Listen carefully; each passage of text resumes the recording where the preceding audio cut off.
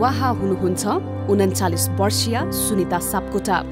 पुरानो बानेश्वरको सडक पेटीमा बसेर साग बेच्नु उहाँको दैनिकी हो र यसो गर्न थालेको बीस वर्ष भइसक्यो। साग बेचेर दुई सन्तान हुर्काएकी सुनिताको धुलो र धुवासँग जुधेर सडक पेटीमा बस्नु रहर होइन बाध्यता हो। छ यसमा बर अब बर्खा आएपछि धेरै दुःख छ रुन मन लाग्छ।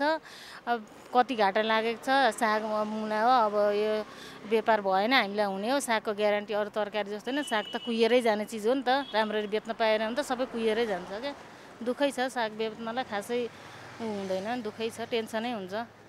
मन त रहरले त कसले गर्छ र एउटा बाध्यता त हो नि जे गर्नलाई पनि अब।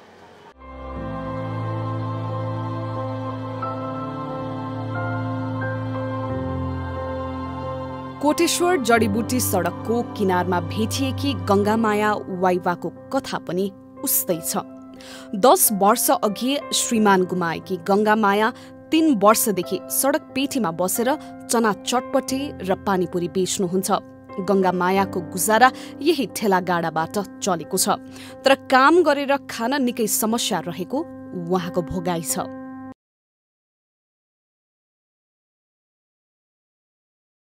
दिनभरि नगरपालिकाले बस्नु दिने होइन।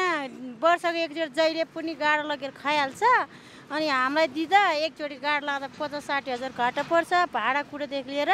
अनि अब जहाँ पनि अब गरिबहरूलाई एकल महिलाहरू उ गर्नलाई सहयोग गर्छ भन्छ। भरे भन्दा जहाँ काहीँ पनि त्यस्तो कुरोहरू केही पनि आउँदैन। भरे भन्दा अब हामी गरिबकै लुट्दै खान्छ।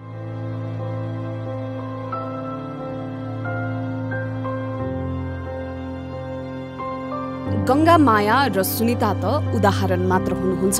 अरू थुप्रै महिलाले रात दिन नभनी श्रम गरेर जीवन धानिरहेका छन्।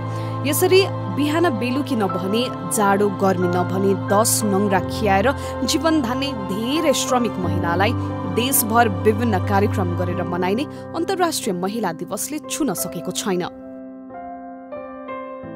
नारी दिवस त मनाउँछ भन्छ नि। अब के गर्नु त? हामी नारी दिवस मनाउँदा पेड दिवस चाहिँ कसले मनाउँछ हाम्रो त? सबभन्दा पेड पाल्नु पर्ने पेड दिवस चाहिँ हामीले चाहिएको त। महिला अधिकार भनेको के हो भन्ने कुरा थाहा छैन। कहिले बोलाएको पनि छैन हामीलाई। महिलाको अधिकार पनि अहिलेसम्म पाइएको छैन जहिले यसरी नै बसिएको छ।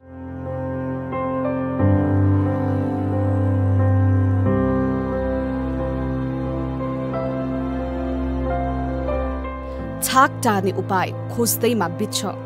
उनीहरूको जिन्दगी। हक अधिकारका कुरा आकाशको फल जस्तै छ उनीहरूलाई। तर यस्ता दिवस केही टाठा बाठाका लागि भने बर्गोत्थान र सिडी चढ्ने मेसो भने बनिरहेकै छन्। क्यामेरामा गुन्जन राज गिरीका साथमा सृजना कुँवर काठमाडौँ।